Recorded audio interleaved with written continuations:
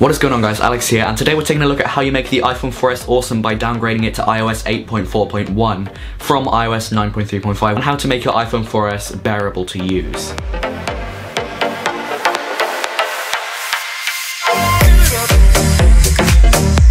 So just before we start, I'd like to say I hold no liability to if you break your device, if you do anything to it, you do everything at your own risk and I'm not held liable. But apart from that, let's actually take a look at how you make the iPhone 4S usable and awesome again.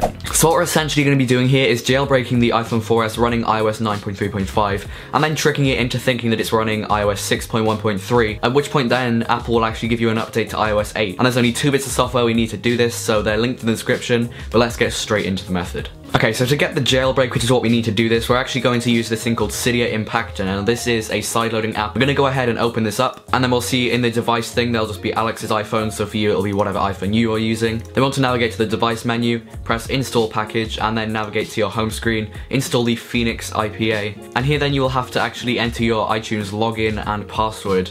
This is mainly because it's essentially making the phone think that you're a developer testing out an app on a phone, so you just have to do this. I've done it a couple of times, and honestly, it isn't dodgy, it is actually trustworthy.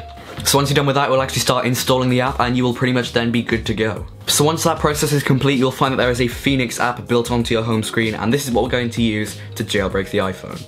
Okay, so once that process is complete, you'll find that there is a Phoenix app on your home screen. Now what you want to do before you open it is go to settings and general, go device management, and then you'll see your email, press trust, your own email, and you'll see that the Phoenix app is actually based under your email address. So once you press trust then, you can go back to the home screen, open up Phoenix, press prepare for jailbreak, press accept, you'll just go to install Cydia, press use provided offsets, And then on your home screen you'll see that there is a Cydia app installed and that means that everything's worked perfectly. Okay, so once all that's done we can go up into the search menu and just search for the word file. And then once it comes up with these search results, we're going to head down to here and see the file browser here that says running as root. We're going to go ahead and install that. Once that's then done, we'll head to the home screen, open up the app that we just installed, and then once the application opens, we're going to head down to system.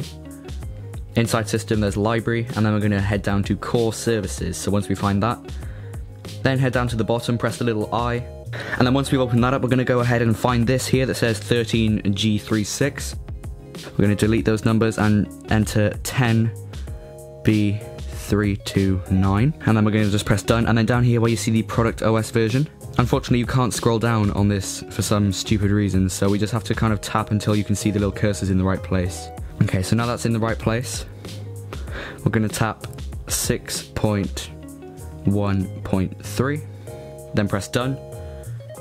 And then once that's done, we're just going to press save and leave that file as it is. And at this point then we're going to restart the iPhone.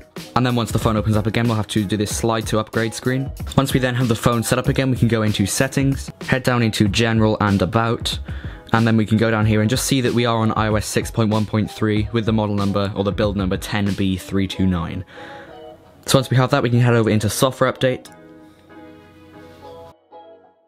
and then what will pop up is the iOS 8.4.1 update, which is 1.1 gigabytes. And then that is it, it will go ahead and download the update and also install it. So you will essentially have downgraded from iOS 9.3.5 all the way to iOS 8.4.1, which honestly is such a big performance increase. Now a lot of you guys were asking about app compatibility, and yes, I have had a couple of issues with app compatibility on this. Most of the time it lets you download apps that were made for this version of software. It will come up with a pop-up that says, would you like to download the latest compatible version? But there have been a couple of apps which I haven't been able to download onto this phone, which is obviously a bit unfortunate and may take away from the experience that you're trying to get by downgrading it. But apart from that, that is basically it for this video, so thank you guys so much for watching. I will catch you in my next video.